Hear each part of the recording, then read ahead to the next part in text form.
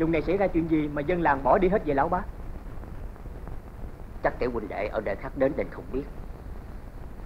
Trước kia cháu ở đây Nhưng đã bỏ đi mấy tháng nay mới quay trở lại. Hảo đạo Tiểu huynh đệ không hay biết gì. Cách đây mấy ngày Một bọn cướp quần áo đen Bịt mặt bằng khăn đen Không biết xuất phát từ đâu Đã đến vùng này.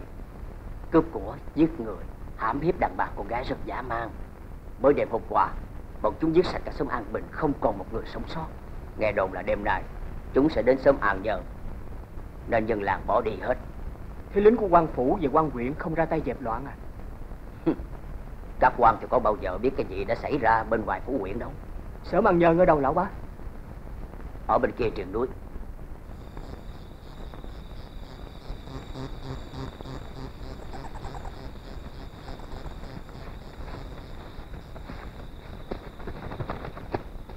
Người là ai? Muốn chết sao dám cản đường chúng ta? Chắc người tới số rồi. Được, nếu muốn chết, ta cho người được tội nguyện. Yeah!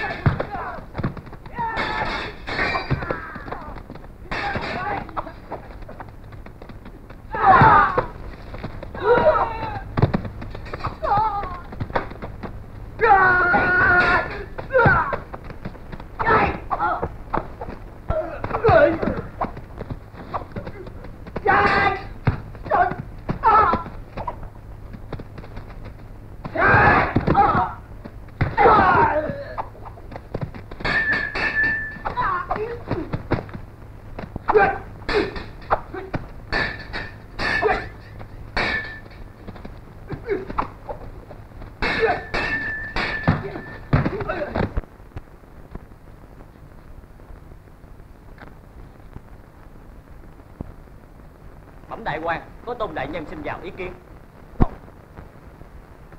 Tiểu nhân xin tham kiến đại quan Miễn lệ. Bọn người ra ngoài và không được cho ai vào.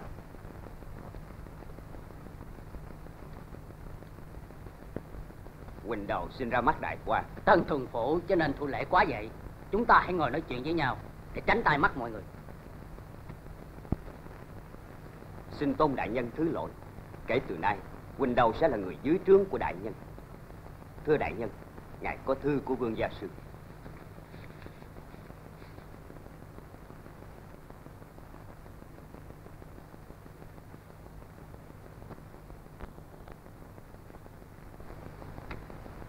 Vương gia sư muốn ta hợp cùng Tân Tuần Phủ Tiểu trừ bọn chống đối ở miền Nam Tôi mới về nhậm chức, chưa nắm vững tình hình. Mọi việc trông nhờ vào sự chỉ giáo của đại nhân. Dường như chúng ta đang gặp phải một trở ngại ghê gớm Tuần Phủ hãy hội ý với thân đại xem Tôi sẽ đi ngay đêm nay. Tuần Phủ phải thật thận trọng Không được để xảy ra một sơ suất nào Tuân lệnh.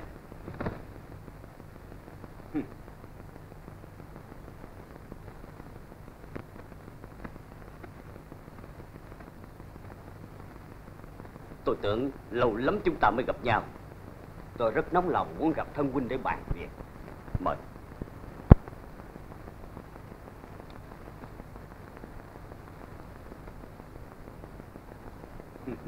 Thân huynh ở chỗ chẳng kém gì dinh tà đại quan. Mang trạm ma trà ra đây.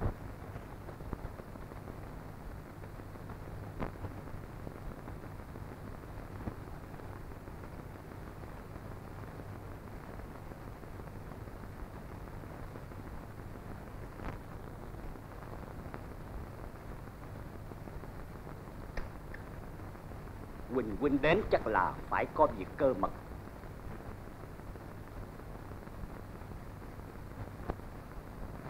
Các người đi ra ngoài.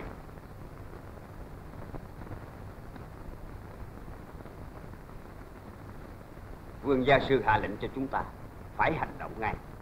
Vì phía bên kia không thể chờ đợi lâu hơn. Nhưng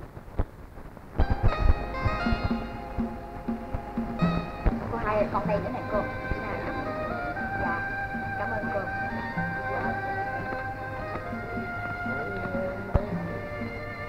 Em có biết người đó là ai không? Hắn là Tạ Dư Chính, con quan tể tướng Tạ Đại Phu đó. Chúng ta mau tránh hắn đi. Vì gì phải tránh hắn?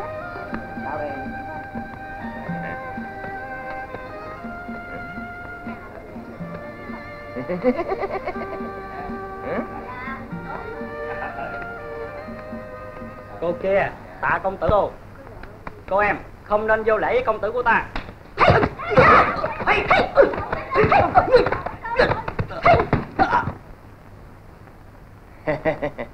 Người đẹp không nên lỗ mãn như thế. Nếu nàng có bản lãnh Hãy đến ngôi chùa có thờ tượng Di Lạc ở ngoại thành. Chúng ta nói chuyện với nhau. Lúc ở Kinh Đô ta có nghe tiếng tâm của cha nàng Nhưng không chắc cho lắm. Nếu nàng chống đỡ nổi ba chiêu của ta Coi như lời đồn đãi về tài năng của đào hiếu quá không sai. Lời tiểu cẩu Mi tưởng ta để sợ cái hương danh của mi lắm sao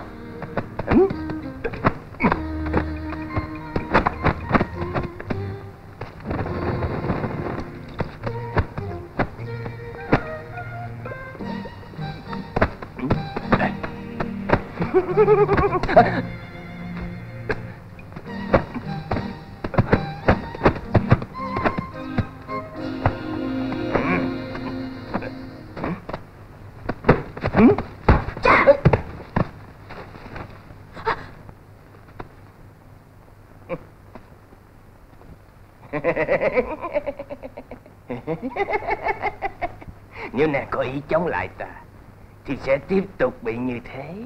Hả?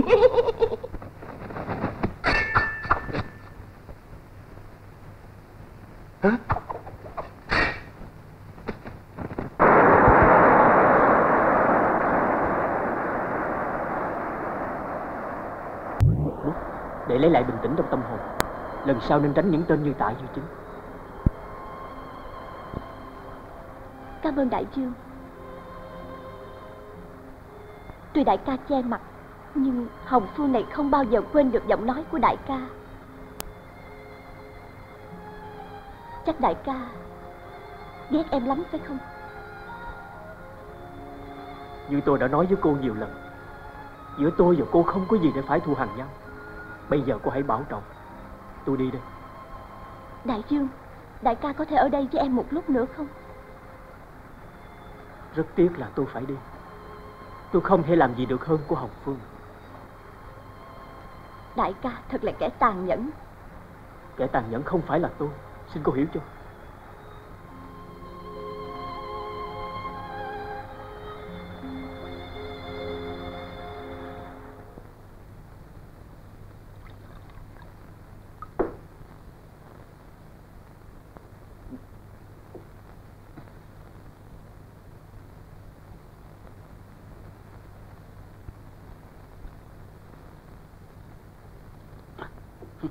Người quân tử Túng phải biến. Lúc buồn Phải tìm cách khuây khỏa cho vui. Cần chi phải mang bên mình Cái chẳng thể cu mang được Để suốt ngày buồn rầu. Thưa đại nhân Tôi không thể vui được. Trước đây Đại nhân có hứa tác hợp Đào Hồng Phương cho tôi Để tương kế, tự kế Thay ngôi đổi chủ. Quả không sai Nhưng tôi thấy việc làm của tạ Dư Chính Rất tai hại cho chúng ta nhiều. Công tử thấy thế nào? Tạ Dư Chính Ô nhục Hồng Phương Sẽ gây tác hại đến việc làm của tôi. Hiện nay Cao đồ của Đào Hiếu Đang giữ nhiều chức vụ quan trọng của triều đình. Nếu họ hay tin Chắc chắn họ sẽ phản đối Và gây trở ngại cho việc làm của chúng ta không ít.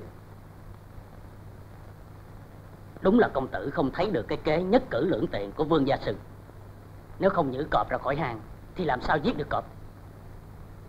Tạ đại nhân muốn cho chúng ta nhìn nhận tận mặt những kẻ chống lại đại sự Để đàn trong có chúng ta tiêu diệt, đàn ngoài có ngài định đoạt.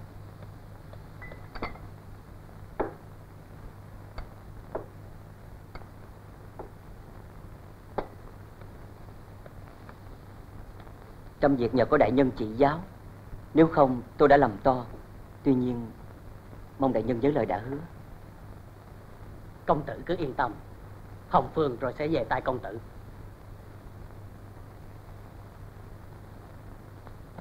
Bẩm sư bá Con đã nghe ngóng khắp nơi Nhưng vẫn không được tin gì Về người đã hạ 11 tên cướp áo đen ở xóm An Nhân.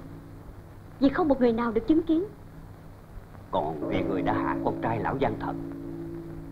Theo những người được chứng kiến Thì đó là một thanh niên mặc toàn đồ đen Và cũng bịt mặt bằng khăn đen.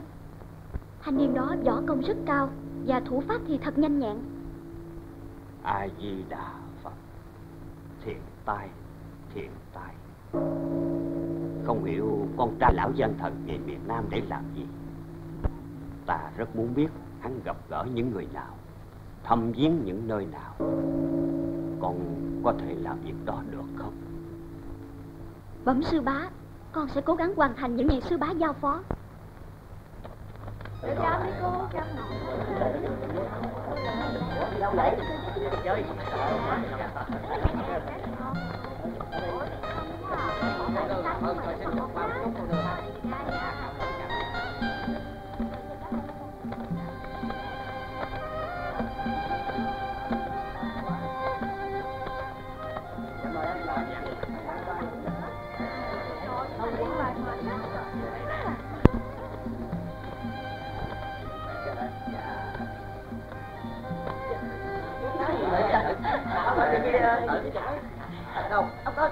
chữ gì á mà nó nó nó đâu tôi không biết chữ mà nó nó cái chữ đó nó ta chỉ tôi không biết chữ. Ra ông đọc giùm tôi đọc nghe đây ai biết chữ đọc cho bà con nghe đây chiêu hùng quán là nơi các anh hùng có tài của mình là nơi để được thấy tận mắt những tinh hoa của võ học là nơi những nữ chủ nhân của nó mong tìm được đức lan quân tài hoa. Hay. Quá hay quá. Những nữ chủ nhân của chiêu hùng quán phải xinh đẹp lắm chúng ta hãy kéo nhau đến đó để xem. Đi đi. Đẹp tới nào. Bán rồi.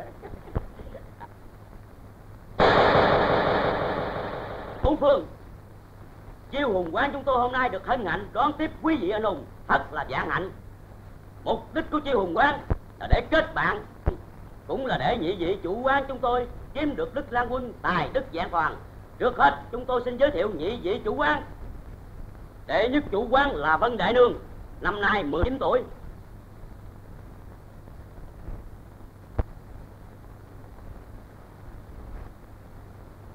Đệ nhị chủ quán là Vân Nhị Nương 18 tuổi.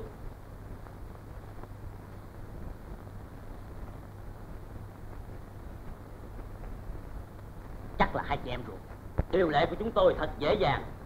Quý vị chỉ cần bước lên đây, Ngồi vào chiếc bàn này Chúng tôi sẽ mời quý vị thưởng thức bồ đào mỹ tửu Thứ rượu hiếm quý này đã được cất trên 100 năm. Sau đó xin cho biết là quý vị muốn so tài với đệ nhất hay đệ nhị chủ quán. Nhưng chúng tôi cũng xin lưu ý quý vị, Đào kiếm không có mắt. Trong khi giao đấu, Nếu có xảy ra chuyện gì, Xin quý vị đừng trách chúng tôi.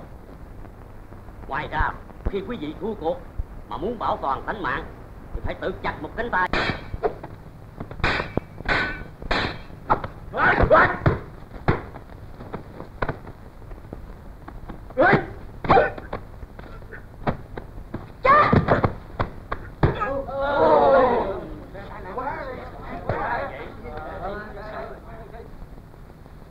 quý vị hãy bình tâm. Chúng tôi đã nói trước, Sự việc có thể xảy ra Và tất cả quý vị cũng đã đồng ý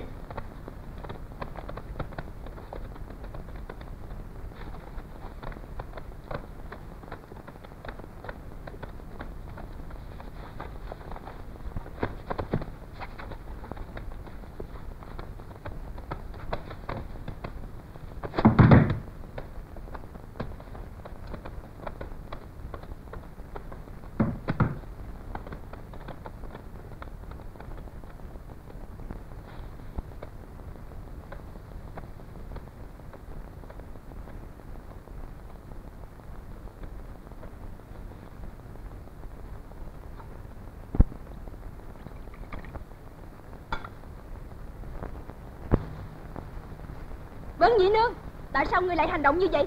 Ngươi muốn chết hả?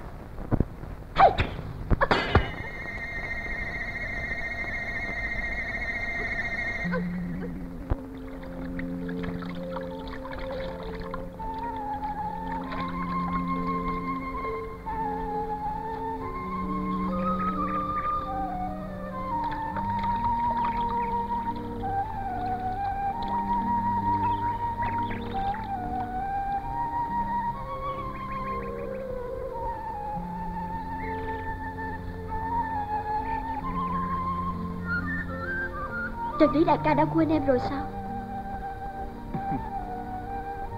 Gặp lại em Anh mừng quá không nói được. Ê, ê Đại ca. Anh làm cái gì kỳ vậy? Cái gì mà kỳ? Lâu ngày anh em ta không gặp nhau. Đại ca cao hứng ôm em không được sao? Em đâu phải là một cô nương. Mà này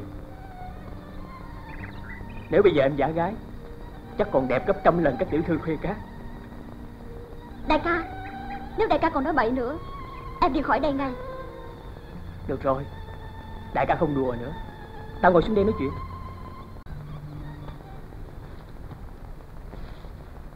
Làm sao thiếu qua biết anh ấy để mà tìm? Em theo đại ca từ chiêu hùng quán. Đại ca có phải là người đã hạ bọn cướp ở xóm An Nhân không? Đúng là đại ca Chỉ trong vòng mấy tháng Trở lại miền Nam mà đã bao nhiêu đổi thay Thiếu Hoa Em có biết đằng sau chiêu hùng quán là ai không? Em không biết chắc. Nhưng bọn chúng ngang nhiên mở chiêu hùng quán ở phủ này Thì phải liên quan đến tân tuần phủ Quỳnh đâu Tên này thật thâm độc. Cũng chỉ là người thừa hành thôi. Chủ chốt là lão gia thần tạ đại phu Và tên gia sư họ Dương Nghe nói cao đồ của võ sư Đào Hiếu Hiện đang làm quan tại triều Chỉ có một chữ nhị Đại ca có định đến đó không? Phải đi chứ. Cho em theo với. Không nên. Trong thư đã nói chỉ đón tiếp một mình đại ca thôi. Chừng nào gặp lại đại ca. Ngày mai Đại ca sẽ đến Di Đà Tự tìm em.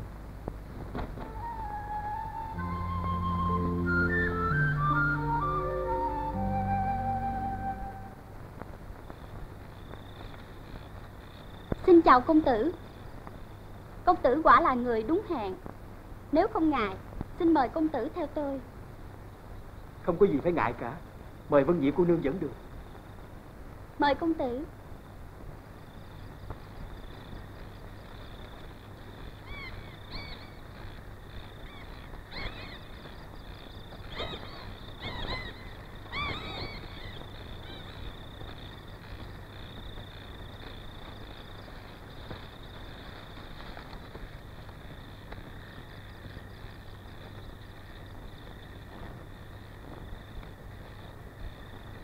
mời công tử ngồi đây. Trong giây lát Công tử sẽ hiểu mọi chuyện.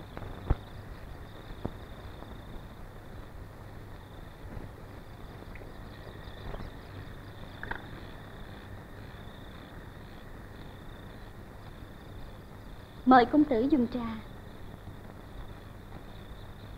Xin kính chào ân nhân Vị vị hãy đứng lên. Chắc ân nhân không nhớ. Năm xưa chúng tôi đi trộm bò Được ân nhân rộng tình tha mạng.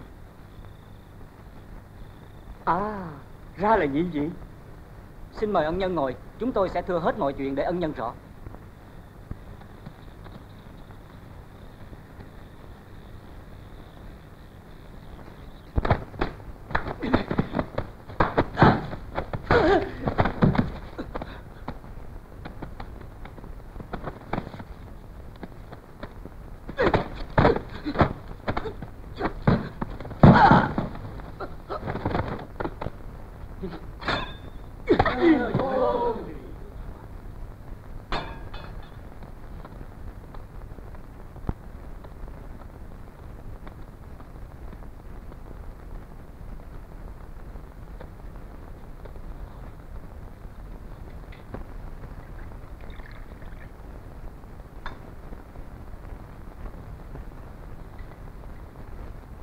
Tôi tên là Lê Khang.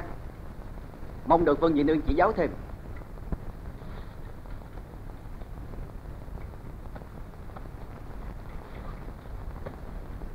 Xin mời công tử.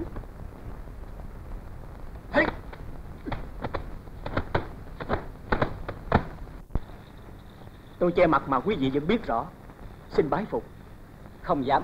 Cũng vì lòng biết ơn mà anh em chúng tôi đã quyết tâm tìm cho bằng được ân nhân Thì ra quý vị là Chúng tôi là ba anh em ruột Tôi tên là Đoàn Phi Em thứ hai tôi là Đoàn Phi Yến Và em út là Đoàn Khánh Vậy ra tên Vân Dị Nương không phải là tên thật của cô nương Xin công tử lượng thứ Tôi một lòng phải dùng cái tên đó Chỉ một lát nữa thôi, ân nhân sẽ hiểu rõ mọi chuyện. Hiền đệ, vào đưa Vân Nhị Nương ra đây. Dạ.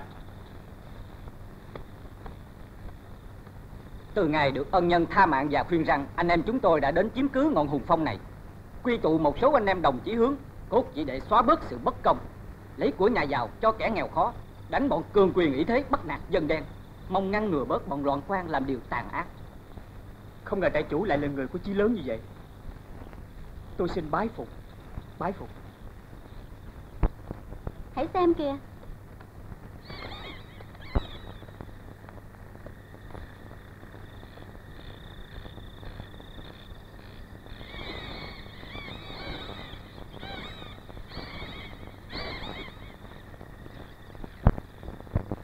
Bây giờ thì chắc ân nhân đã hiểu rõ được phần nào. Nàng đó chính là Vân Nhị Nương, Con gái quan phó soái của phía bên kia. Còn Vân Đại Nương là con gái quan trị điện.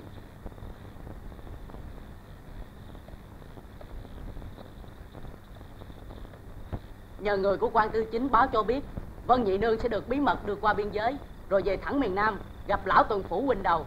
Đại ca đã ra lệnh cho tôi, Phục bắt được cả bọn. Lúc đó tôi chỉ có ý định làm tan rã kế hoạch của quỳnh đầu. Không ngờ khi bắt được bọn kia Thấy Vân Nhị Nương giống em gái tôi như lúc Nên tôi đã tương kế tụ kế. Vân Đại Nương là con gái quan trị điện Vân Nhị Nương là con gái quan phó soái phía bên kia. Như vậy những người đứng đằng sau vụ này không thể ở cấp nhỏ như lão tuần phủ Quỳnh Đầu được. Ý kiến của trại chủ như thế nào? Đối với những việc lớn như thế này Thật là ngoài sức hiểu biết của anh em chúng tôi. Nay đã có ân nhân ở đây Tôi xin nhường chức trại chủ lại cho ân nhân. Trại chủ đừng nói vậy Tôi là kẻ giang hồ, nay đây mai đó. Không thể ngồi yên một chỗ được. Hơn nữa, để tôi ở ngoài có lợi hơn. Nếu trại chủ cho phép Tôi sẽ dùng nơi đây làm chỗ liên lạc. Có việc lớn, chúng ta cùng nhau hành động. Ân nhân đã dạy vậy Chúng tôi xin nghe theo. Đoàn cô nương chắc biết rõ đường lối ra vào phủ đường. Tiểu muội biết rất rõ. Nếu công tử cần Tiểu muội sẽ xin hướng dẫn. Xin đa tạ trước. Nếu cần tôi sẽ xin được cô nương giúp đỡ. Hai vị là nhọc sức định vây sát anh em chúng tôi chẳng ngại khó nhọc Lại chủ nhân đang lo lắng, Người muốn lừa quân vô miền Nam. Nhưng tình hình trong lo Cho đến hiện giờ, Họ tôn vẫn chưa làm chủ được tình thế. Có vậy sao? Việc ấy vẫn không đáng lo. Hiện nay Hầu hết lớp quan trường tránh nhập phía Nam Đều được tạ đại quan Thay bằng lớp người của ta. Còn các đảng cướp bóc giặc giảnh và bọn hảo hán ngu đần Thì đang bị tiêu diệt gần hết. Dương gia sư chớ lên chủ quan. Anh em tôi xem xét tình hình trong ấy thật bất ổn. Chiêu hùng quán đã bị dẹp tan. Dân lại nương và độc nhãn thì bị giết chết. Dân nhị nương thì mất tích. Thật ra, Việc lập chiêu hùng quán Là cái bẫy của chúng ta Để tiêu diệt lực lượng đối đầu. Truy tầm gã thanh niên quấy rối mới xuất hiện Tuy ta có thiệt hại Nhưng đã biết được tung tích của gã thanh niên kia. Hắn là ai vậy? Hắn tự xưng là Tây Sơn Hiệp Khách.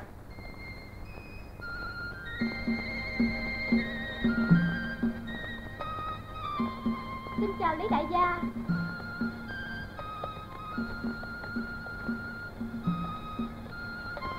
Đứng lại Gia chúng tôi ở trung thành mà. Ừ. Dạ lại hoài Đứng lại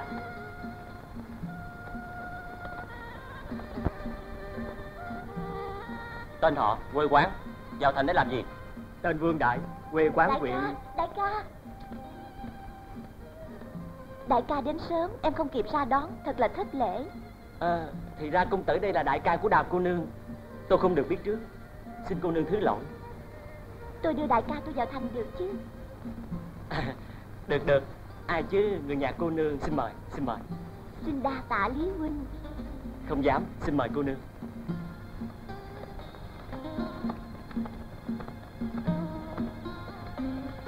Đứng lại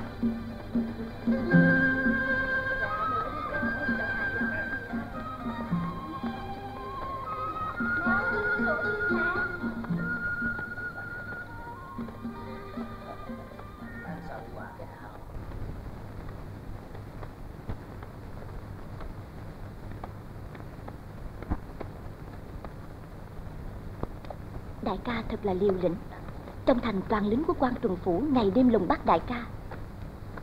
Tuy bọn chúng không biết mặt đại ca Nhưng có người lạ vào thành là chúng bắt ngay. Đa tạ cô nương đã giúp đỡ. Nhưng tại sao cô nương không báo cho quân lính biết tôi là ai? Đại ca Đến giờ này đại ca vẫn không hiểu gì về em. Nếu không thân thiện với bọn quan lính phủ Thì làm sao em biết được một tin hết sức hệ trọng Mà đại ca đang muốn biết? Nếu vậy tôi thật có lỗi với cô nương Chẳng hay cô nương đã biết được tin gì. Kế hoạch đại vận lương về triều đình của Dương Gia Sư Đang được tuần phủ Quỳnh Đầu gấp rút cho tiến hành trong vài ngày tới đây. Đào cô nương có biết rõ kế hoạch đại vận lương sẽ tiến hành như thế nào không? Hiện giờ thì chưa Nhưng đến tối mai em có thể cho đại ca biết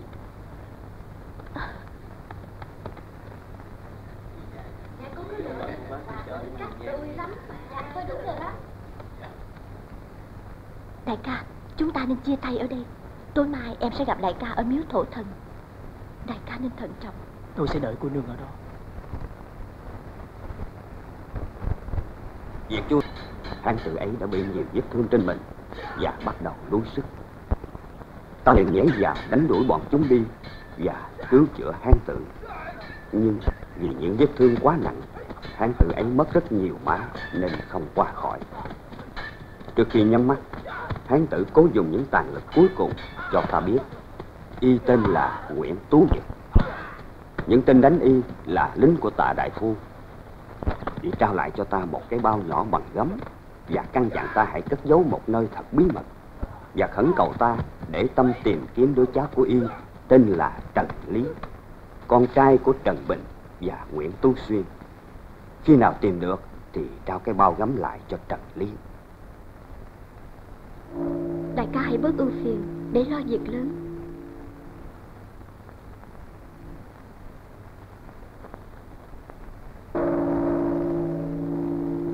Trước khi về kinh Từ ơn hòa thượng nhờ hiền để tìm ta. Vậy lão tăng có nói cho hiền đệ biết chỗ cất giấu cái bao gấm không? Có. Ở dưới chân đèn dược sư nơi đại hùng vũ điện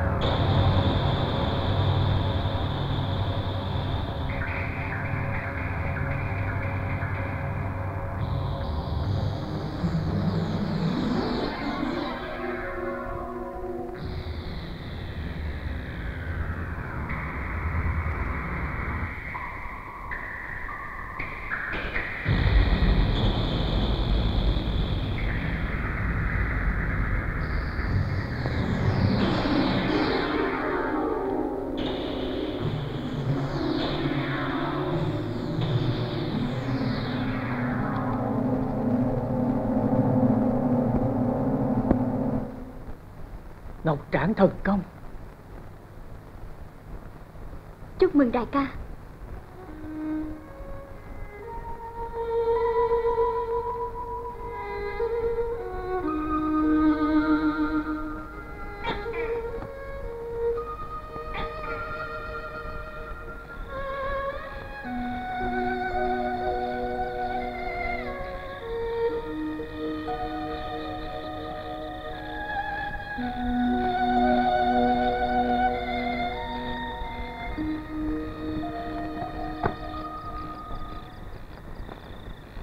huynh đến đây làm gì? Đáng lẽ anh hỏi em câu đó mới đúng. Tôi đến đây làm gì? Là việc của tôi. Sư huynh không có quyền hỏi. Hồng Phương Sao lúc nào em cũng gây gắt với anh vậy? Tôi đã nói với sư huynh bao nhiêu lần rồi Là chúng ta nên giữ tình bạn. Sư huynh đừng đeo đuổi tôi nữa. Thôi được Nếu sư muội đã quyết ý như vậy Sư huynh xin nghe theo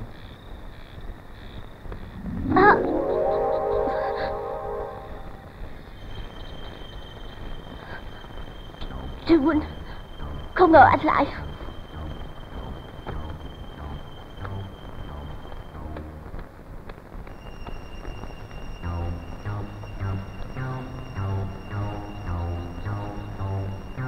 Hồng Phương, Chỉ còn cách làm cho gián đã đóng thuyền, Thì sư muội mới chịu lấy ta.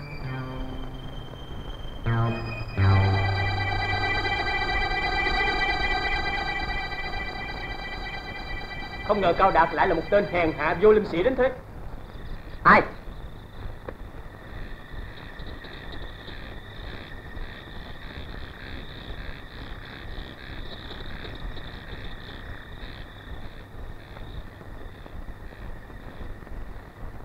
Cao Đạt, Để mặt sư phụ ngươi là Đào Hiếu, Ta tha cho lần này. Nếu còn hành động như vậy nữa, Ta sẽ lấy đầu ngươi.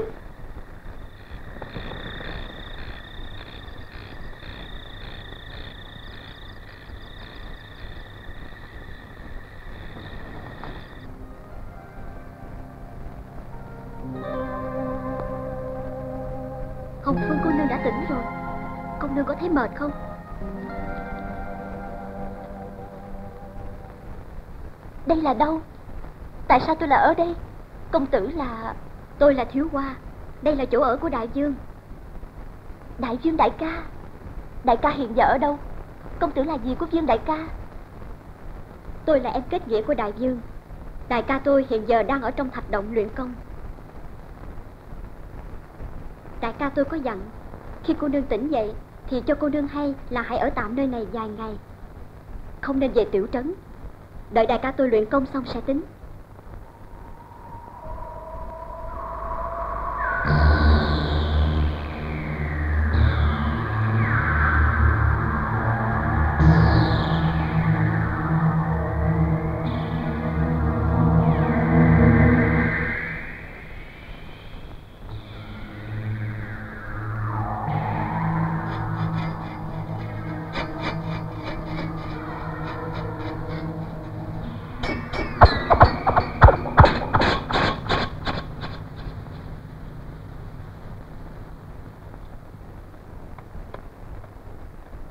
Bẩm công tử đã bắt được Lê Khang.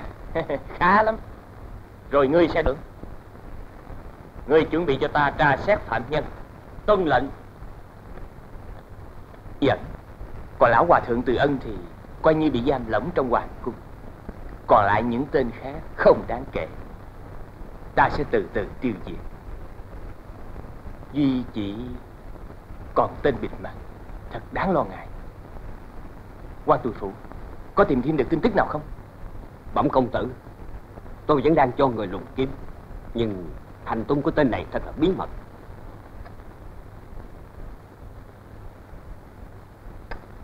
Kế hoạch đại vận lương Đã bàn kỹ với thân đại chưa? Bẩm công tử Tất cả đã được bàn tính rất chu đáo. Bẩm công tử Vân Nhị cô nương đã trở về. Vân Nhị nương đã về rồi hả? Ngươi mời cô nương vào đây ngay. Tạ công tử Quỳnh đại nhân Xin chào. Chúc mừng cô nương đã trở về. Xin mời vào.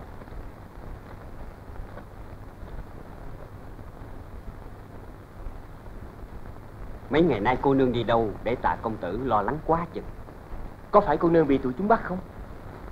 Xin công tử và đại nhân thứ lỗi Vì tôi bỏ đi mà không báo trước. Thật ra lúc đó ở chiêu hùng quán không còn một người nào của ta Tất cả đều bị chúng hạ. Một mình tôi không làm gì được. Tôi nghĩ chỉ còn một cách là tạm lánh mình Để theo dõi tên bịt mặt Xem hắn là ai Thuộc môn phái nào. Diệu kế Cô nương thật là một người thông minh tài trí. Đa tạ công tử quá khen. Rồi Vân cô nương có biết được hắn là ai không? Tôi theo hắn đến một cánh rừng gần ngọn Hùng Phong Thì hắn biến mất. Trong mấy ngày qua tôi quanh quẩn ngọn Hùng Phong Nhưng không thấy hắn xuất hiện. Nên tôi trở về để báo cho công tử và đại nhân hay. Ngọn Hùng Phong nằm ở đâu? Và thuộc địa hạt Và thuộc địa hạt cai quản của tri huyện Chu Quý. Việc này phải nhờ đến thân đại mới được. Dạ. Cô nương định ở lại đây hay trở về bên đó? Tôi định ở lại đây cho đến khi nào tìm được tên tiểu tử kia. Ai?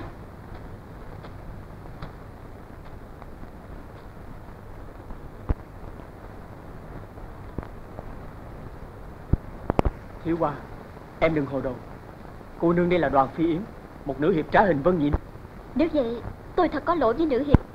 Xin nữ hiệp bỏ qua cho. Tôi cũng xin lỗi công tử. Tôi cũng xin nữ hiệp tha lỗi Không dám, xin hai vị đừng nữa. Đây là Thiếu Hoa Em kết nghĩa của tôi Còn đây là Đào Hồng Phương cô nương Còn tôi là đoàn phi yến, hân hạnh được biết gì gì. Công tử, tôi có một tin rất trọng, muốn cho công tử hay.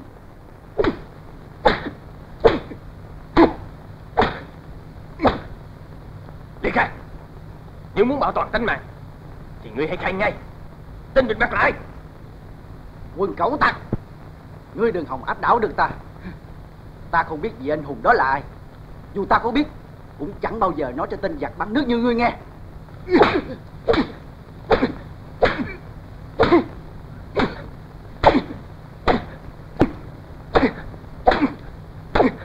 Tạ công tử, tôi thấy ta không nên dùng cực hình với tên này, mà hãy phao tin hắn đã bị ta bắt, rồi ta bố trí người ở đây, chờ đồng bọn hắn đến thì hay hơn. Diệu kế Diệu kế. Vân cô nương thật là người tài trí vô song. Quan thủ phủ Ông nghĩ thế nào?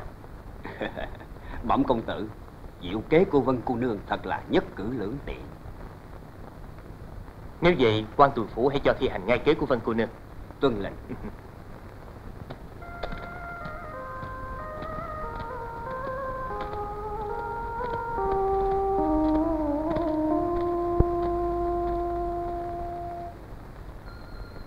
Tánh mạng của Lê Khang tạm thời không có gì đáng lo ngại Nếu chúng ta chưa tiến vào phủ đường. Đại ca Kế hoạch đại vận lương của lão Quỳnh Đầu Theo những tin tức tiểu muội thu lượm được Thật là quan trọng. Nếu chúng ta phá vỡ được kế hoạch này Thì coi như chặt đứt hết chân tay của lão văn thần tạ đại phu Và có thể làm cho lão bị tội với triều đình. Có điều là cho tới giờ, chi tiết của kế hoạch đại vận lương ta vẫn chưa nắm rõ hoàn toàn. Công tử, đoàn vận lương gồm tất cả 10 xe bò, sẽ khởi hành vào ngày rằm, đi về hướng Bắc. Khi đến thung lũng Hà Giao, chúng sẽ đốt ba pháo lệnh. Một bọn cướp hắc y bịt mặt sẽ từ hai bên khe núi tràn ra. Bọn hắc y sẽ đánh nhau với quân lính. Và cuối cùng, quan quân sẽ tháo chạy. Để bọn hắc y cướp toàn bộ số lương thảo.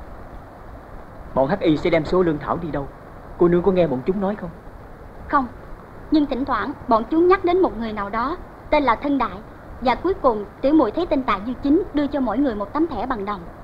Vì ở xa nên tiểu muội không nhìn rõ trên tấm thẻ có cái gì. Phải tấm thẻ như vậy không Đúng hệt như vậy. Sao đại ca lại có được tấm thẻ này? Ta lấy được trong mình tên cầm đầu bọn cướp bịt mặt ở xã An Nhân Đại ca, tên Hân Đại và đoàn cô nương nghe bọn chúng nói chính là quan võ tướng coi toàn bộ thị vệ trong cung nội. Đoàn cô nương Trong cuộc họp có tên Lý Tứ không Có, Nó có được phát một tấm thẻ bằng đồng không có. Đại ca Lý Tứ là một tên hiếu sắc Đại ca để em trở về tiểu trấn Em sẽ có cách Làm hắn phải khai hết bí mật của tấm thẻ đồng đó Cô nương trở về tiểu trấn Tôi e rằng Tên Cao Đạt sẽ không để cô yên Công tử yên tâm. Tiểu muội sẽ bảo vệ cho đào cô nương. Tên Cao Đạt rất nể về tiểu muội. Được rồi. Chúng ta cứ y vậy mà làm. Từ đây tới ngày rằm còn 8 ngày Tôi và Thiếu Hoa sẽ về núi Hùng Phong. Chúng ta sẽ gặp nhau ở đó. Đoàn cô nương Đào cô nương Xin bảo trọng. Công tử bảo trọng. Đại ca bảo trọng. Thiếu công tử Sẽ gặp lại. Đại ca, đại ca có nhận thấy cả hai cô này đều chết mê chết mệt đại ca không? Thiếu Hoa. Em lại nói bậy nữa rồi.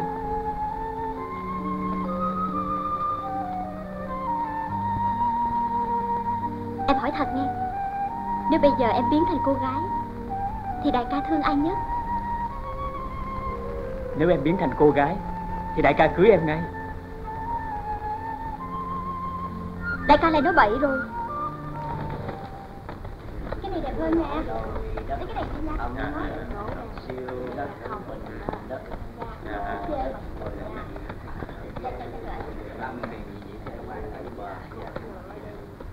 Tụi bay rút ngay về phủ Để dân chúng đi lại tự do. Bẩm lý đại gia, kể cả những tên lạ mặt à. Không hỏi han gì hết Rút về phủ ngay. Xin tuân lệnh. Lý đại ca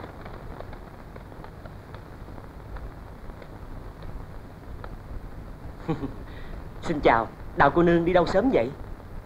Tôi đi tìm đại ca đây. Cô nương cần gì Lý tứ này cũng xin làm ngay. Tiểu muội có một việc nhỏ muốn nhờ đại ca. Đừng nói việc nhỏ Dù cho việc lớn tới đâu Lý tứ này cũng xin vì cô nương mà làm ngay. Đa tạ Đại ca thật là người tốt bụng. Nói đùa thôi chứ tiểu muội muốn mời đại ca đi ăn với tiểu muội Để tạ ơn hôm trước đã cho người bà con vào thành. Đa Đa tạ cô nương Thật là vinh, vinh hạnh cho Lý tứ này. Vậy là đại ca nhận lời. Chúng ta đi đi. Lý đại ca Mình đi đi. Đi hả? Dạ đi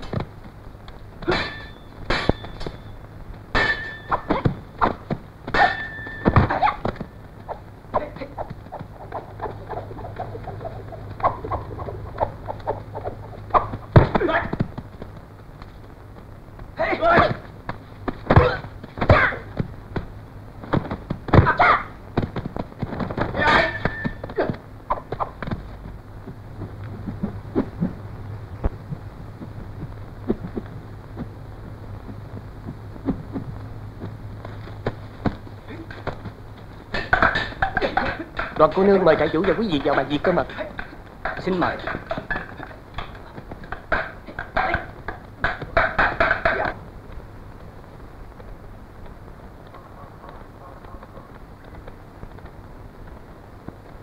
Công tử Thiếu công tử. Đại ca Thiếu công tử. Đoàn cô nương, đào cô nương. Đào cô nương. Xin mời tất cả ngồi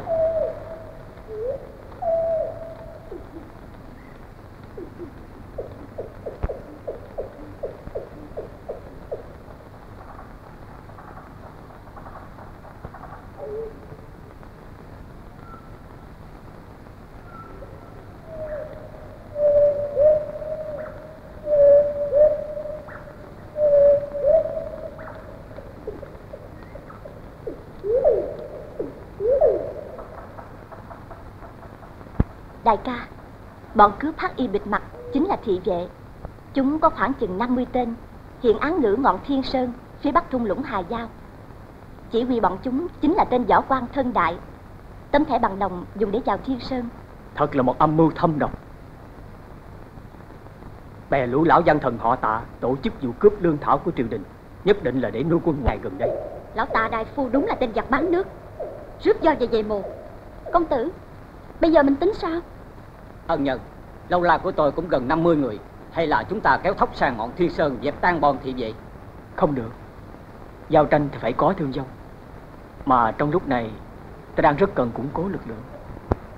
Theo thiện ý của tiểu muội Thì mình nên dùng kế. Gậy ông đập lưng ông. Tôi và Thiếu Hiền Đệ ẩn ngoài bìa rừng Thiên Sơn. Khi tôi và Thiếu Hoa giao chiến với tên thân đại Thì đoàn cô nương cùng với đào cô nương Mang rượu thịt lên Thiên Sơn. Nói là của tạ công tử khao thưởng anh em trước khi ra quân. Ân nhân còn tôi và nhị đệ sẽ làm gì? Trại chủ và trại phó âm thầm dẫn quân bao vây Thiên Sơn. Nếu trường hợp dụng văn không được Thì ta dụng võ. Vân cô nương có biết tạ công tử cho đòi lão về phủ để làm gì không? À, theo tôi thì có lẽ tạ công tử muốn bàn thêm với lão bá về kế hoạch đại vận lương cho ngày mai. Tạ công tử tuy còn nhỏ tuổi mà đã tỏ ra là người có mưu trí, đảm lược và thận trọng. Còn Vân cô nương Chừng nào mới trở về bên đó Xong vụ đại vận lương tôi sẽ về ngay Ừ.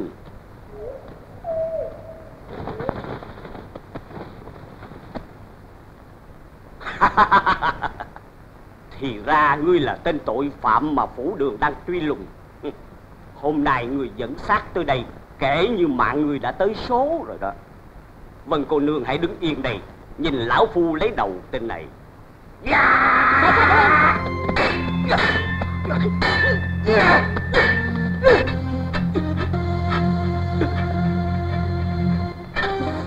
Dừng tay Đoàn cô nương, Hãy để tên gian thần này cho tôi.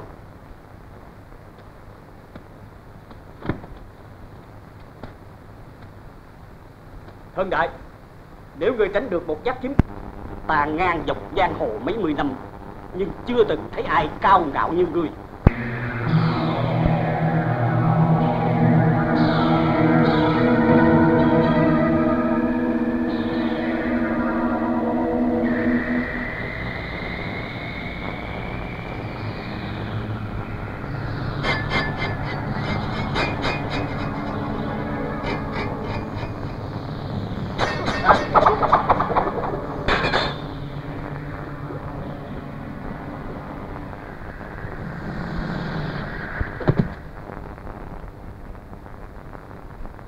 Đoàn cô nương hãy cùng đào cô nương đến Thiên Sơn ngay đi. Tôi sẽ lo cho thứ đệ. Dạ tiểu muội đi đây.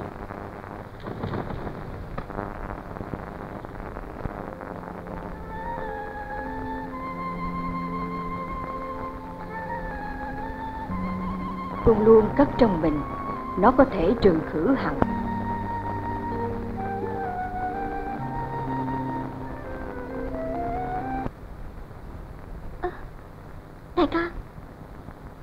phải chính anh.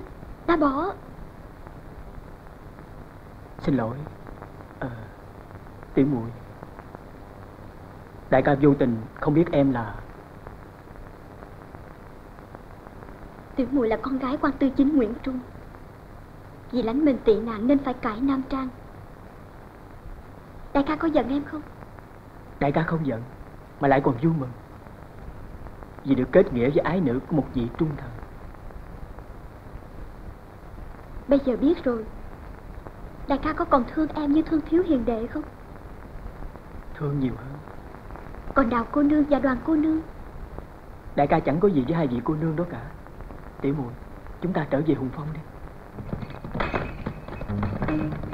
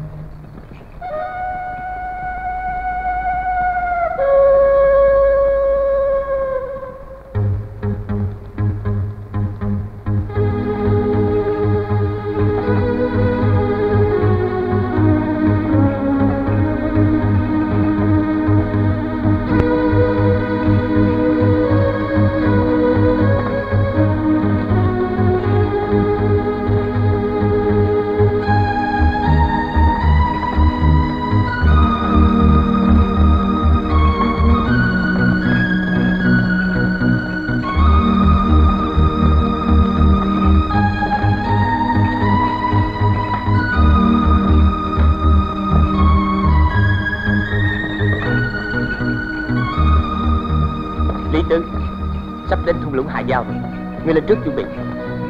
Tuân lệnh